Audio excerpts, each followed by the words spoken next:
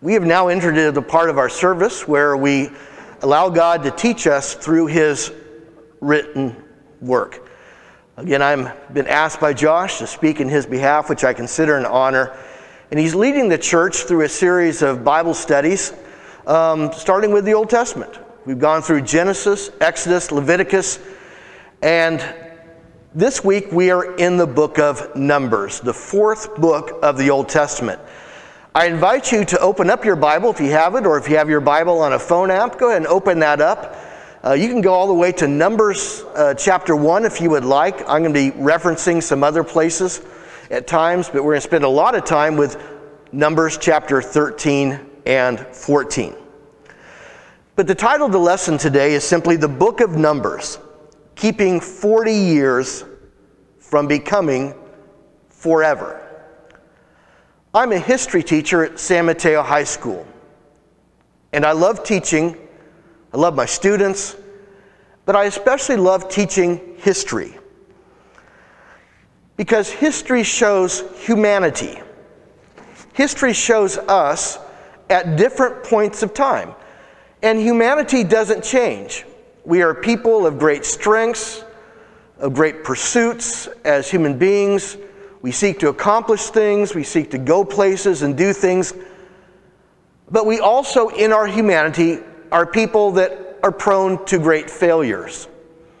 And in studying history, we can study where mankind has done great things with its opportunities and nations have grown and succeeded. But we can also study times where there have been great failures, where people have simply not done what they should do. And not only have they hurt their own lives, but they've hurt the lives of many others. And the point is to learn from those experiences. Many lessons I've learned in life have been from my own failures, and those are the most painful. God does not want us to learn from our own failures all the time. He'd rather us learn from the failures of others that He's recorded or simply seeing what does not work in life and what leads to disaster and then choose the opposite. At times in even recent American history, we've learned from failure. I remember years ago in my early college years, receiving news over the college speaker system that the Space Shuttle Challenger had crashed. And probably everyone, if you were alive at that time, you remember that exact moment. A disaster where seven astronauts were killed, and one of them was a teacher.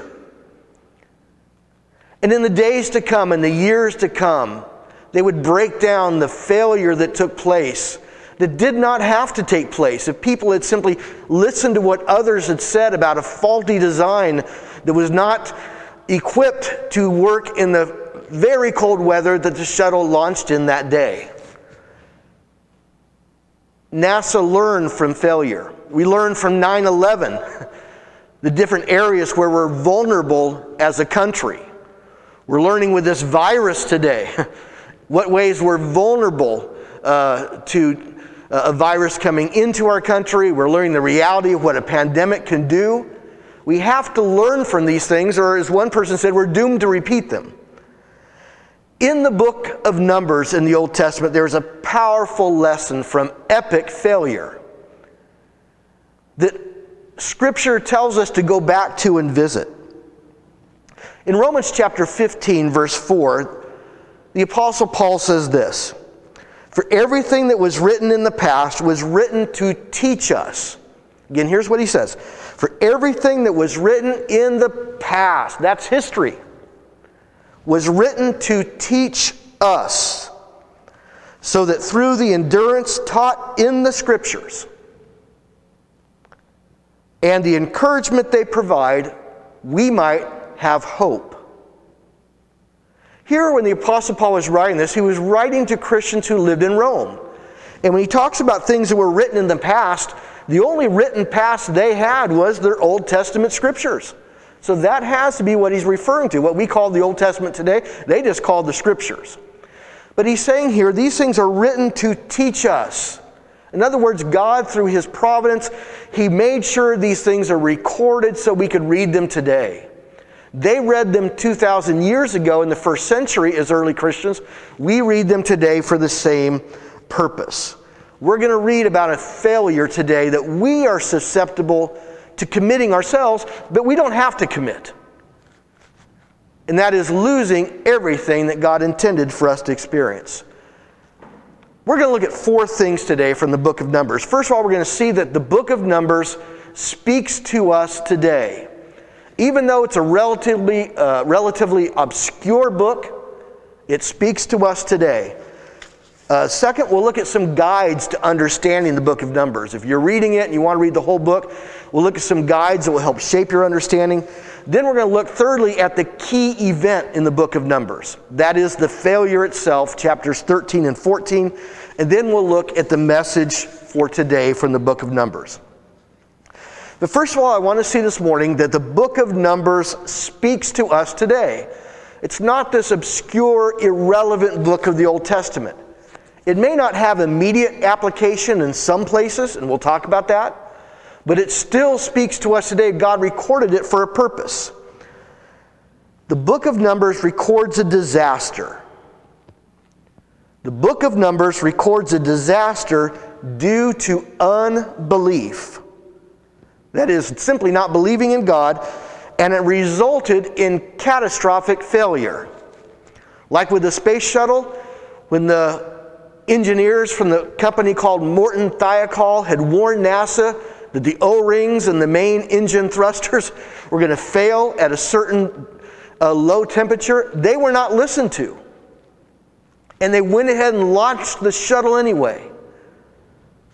And on live television in front of the whole world, seven astronauts were killed shortly after the shuttle completely exploded and they even have pictures of where that O ring was disintegrating even upon initial launch.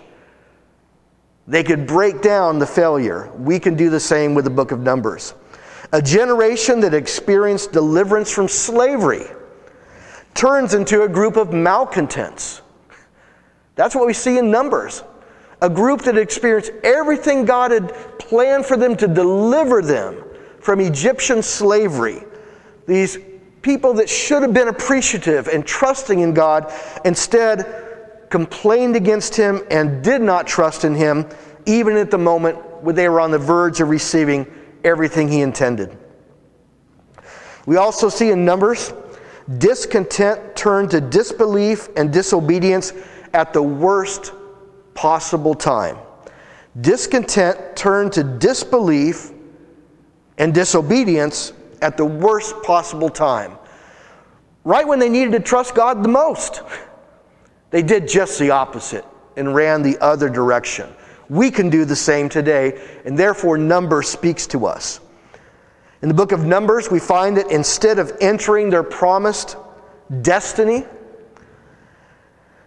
the early nation of Israel was doomed to wander in a desert for 40 years until they died.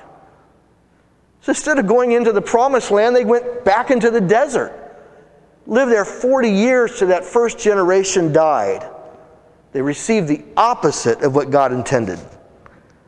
Also, from the book of Numbers, we find that this disaster is recorded in Scripture as a warning for us today. It is a shot across our spiritual bow. God doesn't want just this to be history to be dusted off, to be read, just to describe what happened. He wants us to learn from it. And it's recorded in significant places in the New Testament or cited. Also, as we recognize number speaks to us today, we recognize we can have it all and lose it all at the same time. We can have it all and lose it all at the same time, but that does not have to happen. So the book of Numbers speaks to us today. Secondly, this morning, I want to talk about some guides. Some guides to understanding this book.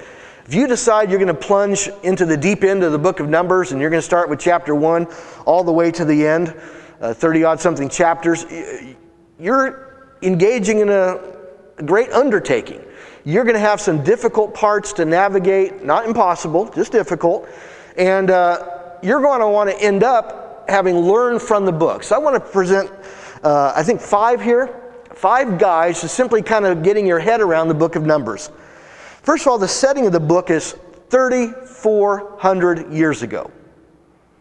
The setting of the book is 3,400 years ago. I want to read just from the uh, just in the first chapter of the book, uh, just verse one, uh, chapter one, verse one of Numbers. It simply starts this way: The Lord spoke to Moses. It says in chapter one, verse one. Moses lived approximately 3,500 years ago, real person, and the Lord is speaking to him. It says, "In the tent of meeting."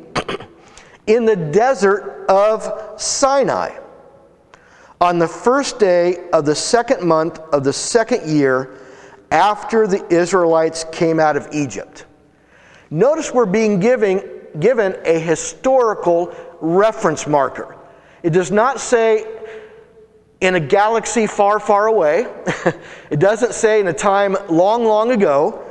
It tells us a real person, Moses, a real place you can visit today, the desert of Sinai, and it gives us real dates. in the first day of the second month of the second year after the Israelites came out of Egypt.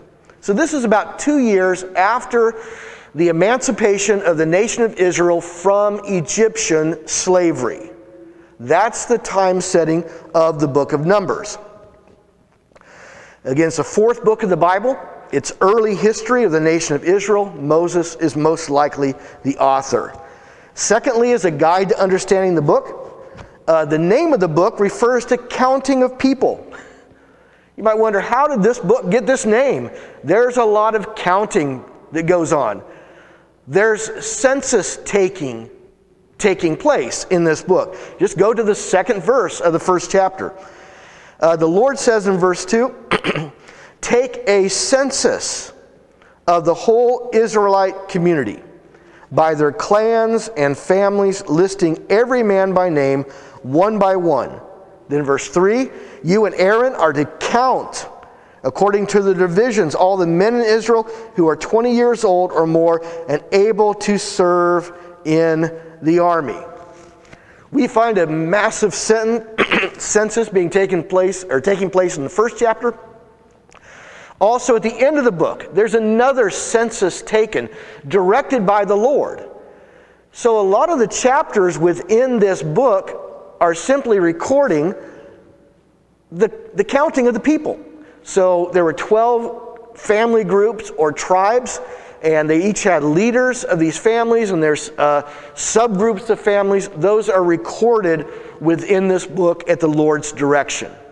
So that is one reason it's called the book of Numbers. Because of all the census taking taking place that was for a purpose. A third guide to understand the book. The laws in the book were for the pre Jesus nation of Israel. The laws in the book are for the pre Jesus nation of Israel.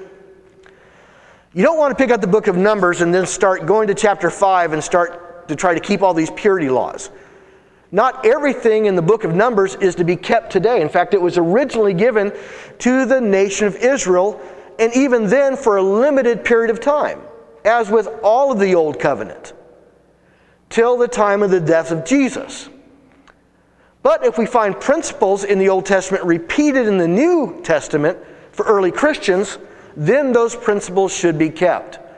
But some laws, especially some of the purification laws, the special uh, observance day laws, uh, other laws concerning the social community of Israel, just for Israel. So don't start picking up things in chapter 5 and 6 and other chapters and saying, okay, I got to start doing these things. No, it was for Israel. But there are things that are cited in the New Testament from this book that are to be recognized today. So the laws in the book were for the pre Jesus nation of Israel. Uh, the fourth guiding principle the events of the book are real. The events of the book of uh, Numbers are real, very real. You have real people such as Moses, the most prominent individual, uh, individual by the name of Joshua, Caleb are introduced within this book. Uh, Moses' sister Miriam is cited. Uh, Moses' brother Aaron is cited. You have this individual by the name of Balaam that is cited. And they are cited in the New Testament. Events within the book of Numbers are cited by Jesus himself. Most notably, uh, in John chapter 3, verse 13, he speaks about as Moses lifted up the serpent in the wilderness. So I myself will be lifted up, as he alludes to his impending crucifixion. But he refers to this event in the book of Numbers as a real event. Just as Moses did something, he himself, Jesus, will be lifted up. He's not citing fiction. He's not citing some fairy tale or myth. He's citing a real event to talk about his own real event. The most significant event of all history, that is the death of Jesus Christ. He uses a real event to prefigure it. Also in 1 Corinthians chapter 10, the Apostle Paul, one of the most prominent people in the Bible, wrote 13 of its letters in the New Testament, cited events within the book of Numbers, specifically what we're going to talk about today. Thank you, Nathaniel. Cited very real events. And those events come from the book of Numbers. The book of Numbers is never treated in scriptures just some fictional story that evolved over time but trust that you're reading real events that happened in the nation of Israel. The fifth guide to understanding the book is to know that the application of the book is timeless. Even though the events happened, excuse me, 3,400 years ago, the application of the book is timeless. Just like with the shuttle disaster or 9 11, we don't stop learning lessons about what happened with those disasters just one year after they happened. Engineers today will learn lessons from what happened with the shuttle. Uh, people that do security within the United States will continue to learn lessons from 9 11 throughout all of our future about the importance of diligence and seeing that sometimes the greatest threat can from be from within and how that those are seeking to do harm will be very patient and strike at just the right time. These are lessons that are timeless for our country, and lessons from the book of Numbers are timeless for Christians today. Even 500 years after the main event of the book of Numbers, the writer of Psalm chapter 95 cites Numbers chapters 13 and 14. He cites it because it was still relevant for the nation of Israel.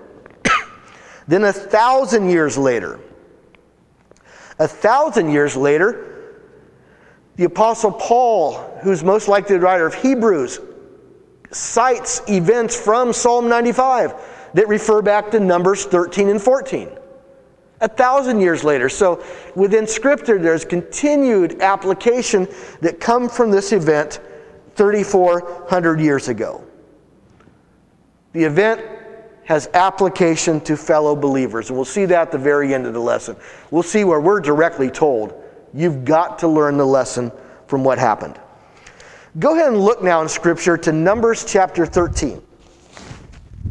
Numbers chapter 13. I want to read through Numbers 13 and 14, but I'm going to try to do so as expeditiously as I can. But this is the key event. This is the event that is cited in Psalm 95, uh, cited in 1 Corinthians chapter 10, cited in Hebrews chapter 3 and chapter 4 as a warning for God's people for all time, but especially for Christians. We're going to break down Numbers chapter 13 and 14 into five scenes. The first is reconnaissance, the second is report, the third is response, the fourth is recrimination, and the fifth is reconfiguration. Yes, they all start with R's to help us remember the power of these scenes. Let's just start reading chapter 13, verse 1. Here, the nation of Israel has traveled through the Sinai desert. It's about two years from the time they were delivered from Egyptian slavery. and they've come to the edge of what is called the Promised Land, or the land of Canaan. They're exactly where they should be. And they're on the verge of coming into this land that God had promised their forefather Abraham. They're going to leave the desert and go into this land where they're going to find it full of everything they knew or need, I'm sorry, to grow crops, to prosper and settle down. It will be a land that will belong to them. God will drive out the people that live there that do not belong there. And he will give it to his people Israel. He's carried them through the desert, taking on their enemies and supplying all that they need. They're right at the verge of going in, but we're going to see that what God intended never materialized. Chapter 13, verse 1. Go ahead and read this with me. We'll first see a reconnaissance mission. Verse 1 The Lord said to Moses, Send some men to explore the land of Canaan which I am giving the Israelites. From each ancestral tribe send one of its leaders. So at the Lord's command, Moses sent them out from the desert of Paran. All of them were leaders of the Israelites. These are their names. From the time of Reuben, Shamuel, son of Zakkur. From the tribe of Simeon, Shaphat, son of Hori. From the tribe of Judah, Caleb, the son of Jubapeth. From the tribe of Issachar, Igal, son of Joseph. From the tribe of Ephraim, Hoshea, son of Nun. From the tribe of Benjamin, Palti, son of Rapul. From the tribe of Zebulun, Gaddiel, son of Sodai. From the tribe of Manasseh, a tribe of Joseph, Gadai, son of Sush, or Sushi. Or Susi, that's probably the right way to say it. Uh, verse 12, from the tribe of Dan, Emil, son of Gamali. From the tribe of Asher, Sethur, son of Michael. From the tribe of Naphtali, Nebi, son of Vopshi. From the tribe of Gad, Gaul, son of Maki. Verse 16.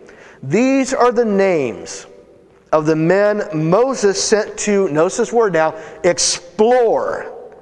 These are the names of the men Moses sent to explore the land. Moses gave Hoshea, son of Nun, the name Joshua. Verse 17 When Moses sent them to explore Canaan, he said, Go through the Negev and on into the hill country. See what the land is like, and whether the people who live there are strong or weak, few or many. What kind of land do they live in? is it good or bad? What kind of towns do they live in? Are they unwalled or fortified? How is the soil? Is it fertile or poor? Are there trees in it or not? Do your best to bring back some of the fruit of the land. It was a season for the first ripe grapes. Verse 21. So they went up and, here's that word explore, explored the land from the desert of Zin as far as Rehob toward Lebo Hamath. They went through the Negev and came to the Hebron where Abinam, Sheshai, and Talmai, the descendants of Anak, live. Hebron had been built several years before Zoan in Egypt. When they reached the land of Eshcol, they cut off a branch. they cut off a branch bearing a single cluster of grapes. Two of them carried it on a pole. Between them, along with some pomegranates and figs, the place was called the Valley of Eshcol because of the cluster of grapes the Israels cut off there. At the end of the 40 days, they returned from exploring the land. So this is reconnaissance. God tells them, just go check out the land. Go see what's there. He doesn't tell them go get in a fight. He just wants them to check it out. Check out the uh, fertile nature of the soil, what's growing there. Also, check out the people. He doesn't, doesn't tell them why, he just says, just do it. and they do it. Twelve men go out. That's reconnaissance. Now we'll look at report. We'll see what they said when they came back as far as what they found. Verse 26 through 33. When they came back to Moses and Aaron and the whole community at Kadesh in the desert of Paran, there they reported to them and to the whole assembly and showed them the fruit of the land. They gave Moses this account When we went into the land which you sent us, and it does flow with milk and honey, Here's its fruit. Verse 28 now. This is the beginning of trouble. Verse 28. But the people who live there are powerful, and the cities are fortified and very large. We even saw descendants of Anak there. The Amalekites live, excuse me, the Amalekites live in the Negev. The Hittites, the Jebusites, Amorites live in the hill country, and the Canaanites live near the sea and along the Jordan. Verse 30. Then Caleb silenced the people before Moses and said, We should go up and take possession of the land, for we can certainly do it. But the men who had gone up with him said, We can't attack those people. They're stronger than we. And they spread among the Israelites a bad report about the land they explored. They said, The land we explored devours those living in it. All the people we saw there are of great size. We saw the Nephilim there, the descendants of Anak, come from the Nephilim. We seem like grasshoppers in our own eyes. And we looked the same to them. Think about these words. The report of at least 10, or only 10, I should say, is it simply, yeah, it's a great land, but there's some huge people living there. And we felt like we were grasshoppers in their sight. Now, those people never said they're grasshoppers, they just say, We felt like grasshoppers. We felt like it. They're too powerful. We can't do that. And these words here that stick out the greatest, they say, They are stronger than we. Consider how the Lord heard that. His own people saying, These people, just because they're taller, and they have some weapons, they're stronger than we are. This is a completely faithless assessment of themselves. Even Caleb interrupts these 10 guys mid sentence to say, hey, we can do this. If you've ever been around a negative Nelly, a, half, a glass half empty person, you probably have insight into this. Someone that can never see how something could be done Someone that sees a problem behind every bush. They're never leaders of the place you work. They're never people you want to work in a group project with because they never see the potential, only the problem. Now, sometimes that can be good. We need people to recognize problems. But not when you, the potential is right there and you have God on your side to say, no, we can't do it, even with God on our side. But that's what these 10 are saying. Let's look now at the response of the nation when they hear this report. Starting with chapter 14, verses 1 through 10. Here's how the nation of Israel hears this report from the 10. Again, Joshua and Caleb will say, hey, we can do this. 10 say we can't. Verse 1, chapter 14. That night, all the members of the community raised their voices and wept aloud all the Israelites grumbled against Moses and Aaron, and the whole assembly said to them, to catch this. This is probably the, one of the most painful words of Scripture. If we only had died in Egypt or in this wilderness, why is the Lord bringing us to this land only to let us fall by the sword? Our wives and children will be taken as plunder. Wouldn't it be better to go back to Egypt? And they said to each other, We should choose a leader and go back to Egypt. That's the response. Hey, you, the Lord just took us out here to kill us. We can't do this. We, we should have died in Egypt. And we even want to go back. That means go back to enslavement. Go back to where they were in Egyptian slavery for years. They rather do that than try to take on the challenge with God of going into the promised land. Verse 5 Then Moses and Aaron fell face down in front of the whole Israelite assembly gathered there. Joshua, son of Nun, and Caleb, son of Jephunneh, were among those who had explored the land, tore their clothes, and said to the entire Israelite assembly, The land we passed through and explored is exceedingly good. If the Lord is pleased with us, he will lead us into that land, a land flowing with milk and honey, and will give it to us. Only do not rebel against the Lord, and do not be afraid of the people of the land, because we will devour them. Their protection is gone. The, the Lord is with us. Do not be afraid of us. That's what Joshua is saying. The Lord is with us. But the 10 men that went with him, or at least 10 of them, are saying, No, we can't do this. They're too big, they're too powerful. And they don't even think the Lord will be on their side. Verse 10 But the whole assembly talked about stoning them. Then the glory of the Lord appeared at the tent of meeting to all the Israelites. The Lord said to Moses, How long will these people treat me with contempt? How long will they refuse to believe in me in spite of all the signs I performed for them or among them? I will strike them down with a plague and destroy them, but I will make you into a greater and stronger. I will make you into a nation greater and stronger than they. I'm going to skip one section. Actually, let's just go into it. I was going to, for time's sake, miss it, but let's just go right into it. Verse 13. Verse 13, here's the Lord's continued response to the people.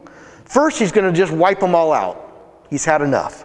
But verse 13, Moses responds back to the Lord and says, Then the Egyptians will hear about it. By your power, you brought these people up from among them, and they will tell the inhabitants of the land about it. They have already heard that you, Lord, are with these people, and you, Lord, have seen face to face, have been seen face to face, and that your cloud stays over them, and that you go before them in a pillar of cloud by day and a pillar of fire by night. If you put these people to death all at one time, the nations who have heard this report about you will say, The Lord was not able to bring these people into the land he promised them on oath. So he slaughtered them in the wilderness. Now may the Lord's strength be displayed just as you've declared. This is Moses talking to God. The Lord is slow to anger, abounding in love, and forgiving sin and rebellion, yet he does not leave the guilty unpunished. He punishes the children for the sins of the parents to the third and fourth generation. Verse 19, chapter 14, in accordance with your great love, forgive the sin of these people, just as you have pardoned them from the time they left Egypt until now. Let's just pause here. Moses is telling the Lord, don't do this. The other nations will hear that you could not bring them in. Please forgive them of what they've done. Verse 20. Verse 20. This is part of the Lord's response, or this is the recrimination. The Lord replied, I have forgiven them as you ask.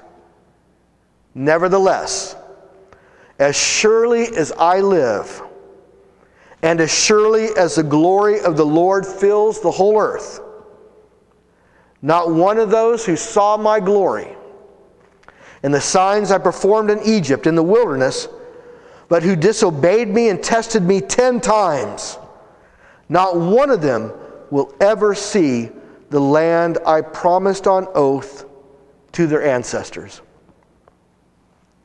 No one who has treated me with contempt will ever see it. But because my servant Caleb has a different spirit and follows me wholeheartedly, I will bring him into the land he went into, and his descendants will inherit it. Since the Amalekites and Canaanites are living in the valleys, turn back tomorrow and set toward the desert along the route to the Red Sea.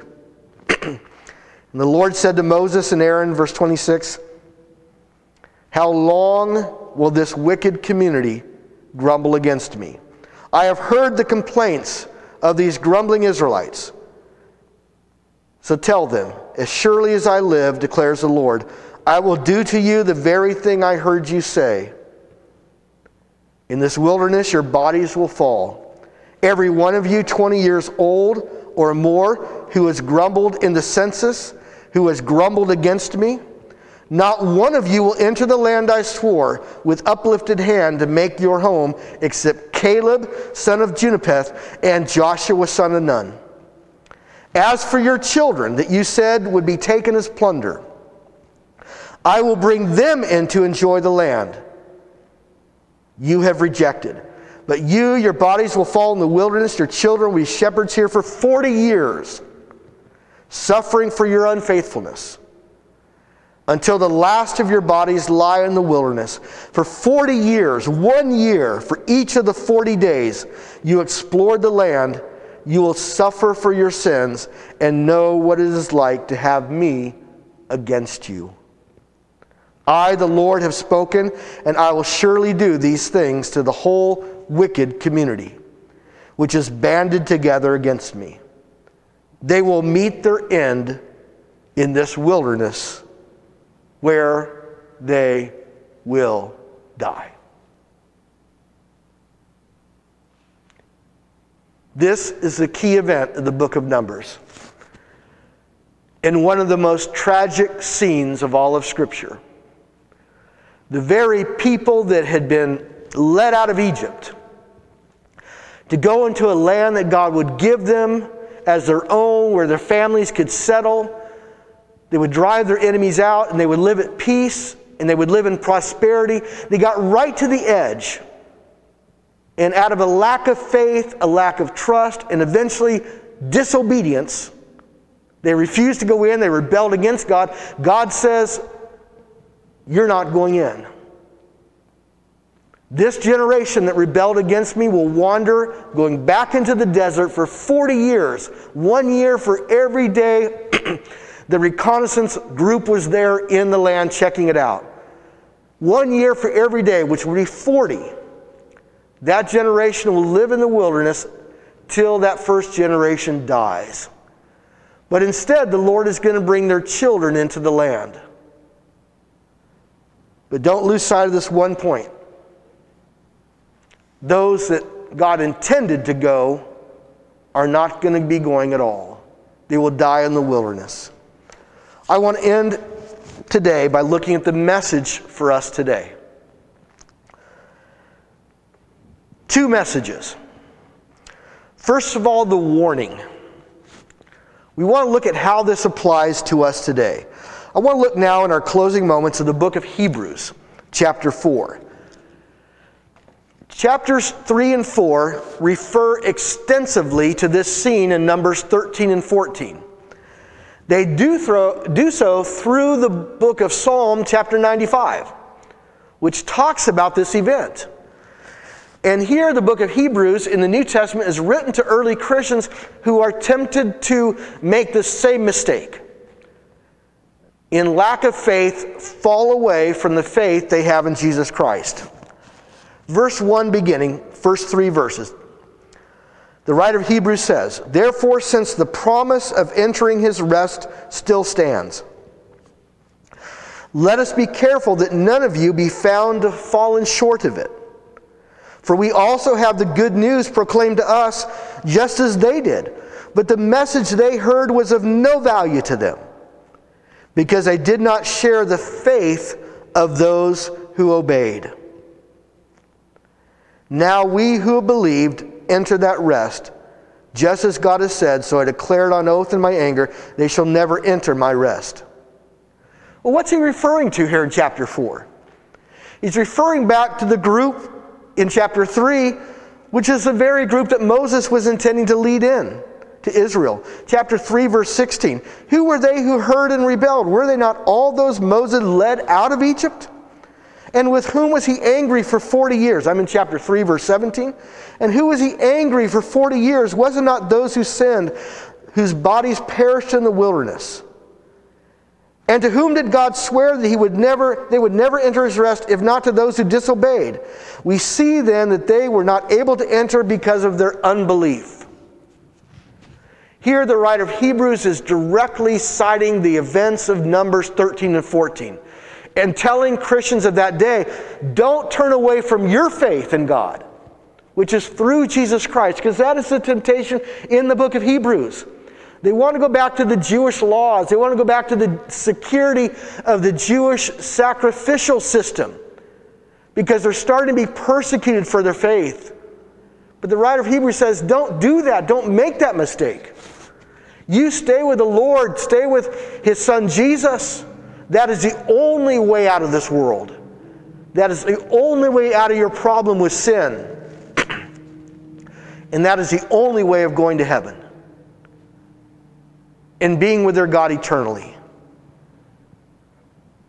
The scene of Numbers 13 and 14 is a warning. Don't lose your faith, don't fall away. And that message for us today. If we leave today, if we leave in this life our faith in Jesus Christ, there is no other hope. There is no other path to heaven except through Jesus Christ. And if people just abandon that after becoming Christians, after being baptized into Jesus Christ, the writer's saying there is no hope. but the second message for us today is this, and then we'll close. The way to the promised land today, which is our heaven, our promised land is heaven, is through sustained faith in Jesus Christ. Chapter 4, I want to go to verse 14. Chapter 4 of Hebrews, verse 14. The writer says, Therefore, since we have a great high priest who has ascended into heaven, Jesus, the Son of God, let us hold firmly to the faith we profess. For we do not have a high priest who is unable to empathize with our weaknesses, that we have one who's been tempted in every way, just as we are, yet without sin. Verse 16 Let us then approach God's throne of grace with confidence so that we may receive mercy and find grace to help in our time of need.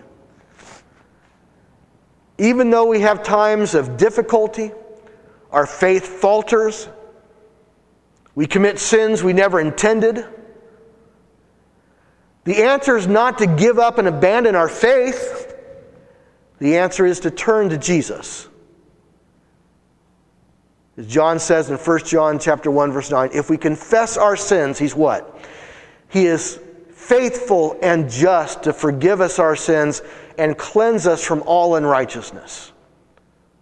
We must sustain our faith in Jesus Christ. That is our only hope.